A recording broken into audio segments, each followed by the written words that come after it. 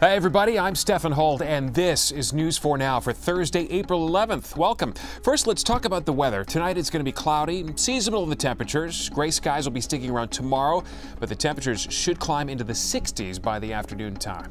Now we will move on to the news, and a student who ripped off a classmate's headscarf during a fight is facing charges. Now police are looking into whether it was a hate crime.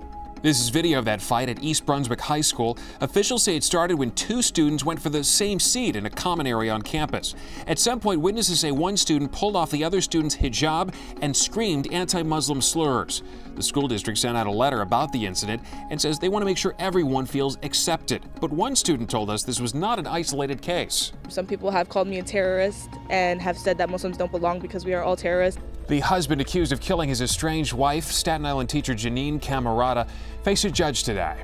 The Richmond County District Attorney has handed up felony indictments for Michael Camerata and his girlfriend, Aisha Agia, but the DA hasn't said if they'll be indicted on murder charges. Authorities say Camerata drove to a storage facility to hide his wife's body. They say he did that with the couple's three and seven year old children inside the car. In Los Angeles, thousands packed into the Staples Center for rapper Nipsey Hussle's memorial. A letter from former President Obama was read to the crowd, and the speakers of the service included friends, family, and his fiancée, actress Lauren London. Ermias always used to say that you can't possess people, that you experience them. And I'm so honored and blessed that I got to experience such a man. Hussle was shot and killed last month outside of his South LA clothing store.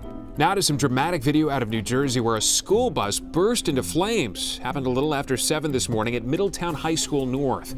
Driver says he was having mechanical problems during his route. The bus started to smoke once it got to school, then caught fire. Everyone on board was able to get off safely. One firefighter, though, was treated for smoke inhalation. Finally, a New Jersey woman is now facing charges after tearing down a neighbor's risque Easter display. Desiree Shepstone is accused of using garden shears to rip down the mannequins dressed as Playboy bunnies on this lawn in Clifton. Now she's charged with criminal mischief. She told us beforehand that she's not sorry for doing it. And the neighbor who put the whole display together, well, he says he plans to put it back up. That's all for News 4 Now. I'm Stefan Holt. Thanks for checking in.